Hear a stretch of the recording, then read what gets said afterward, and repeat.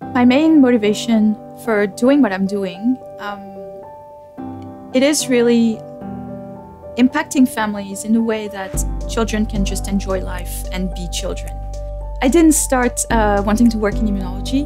In the first place, I liked medicine, uh, but quickly changed to marine biology. But life took me to uh, immunotoxicology instead, uh, looking at toxins and the effect on the immune system. And this is really where I found the world of immunology and really. The statistics around uh, asthma and allergy uh, is particularly overwhelming. What is missing from most of the countries where asthma is really high is actually something that's been with us for millions of years. And I'm talking about parasites and uh, parasitic infections. There's a particular uh, parasite that we found to be quite successful in helping its host. This parasite is uh, a hookworm, and we've had really amazing results, especially in uh, suppressing allergic diseases.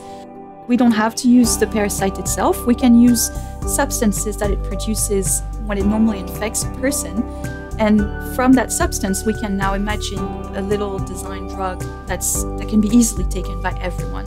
No, I don't think hookworms are scary. I think we just should understand them and uh, see what we can learn from them. Now that we know we've got something that seems to work in the lab and can treat asthma, I think now looking further and imagining that we can potentially prevent the development of the disease, I think this is exciting.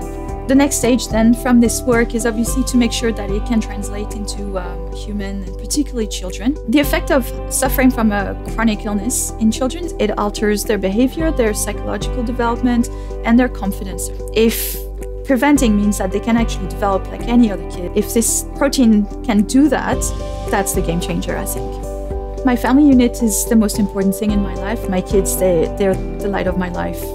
I would do anything for them. My goal with this work is potentially to look at other conditions as well. Um, the way the protein seems to be working seems to indicate that it might be applicable to other conditions um, in which the defect is actually common to allergy, um, and I'm talking autoimmune diseases. The key really is rather than having to suffer from the disease once you're an adult and then get that cure, why not just see if we can prevent it altogether? And bypass the damage and the, the remodeling of the tissues. I feel terrible for parents who have to really deal with their children's severe allergy and asthma on a regular basis. It's just not a way to live, and I feel terribly sorry for, for them, and I want to help.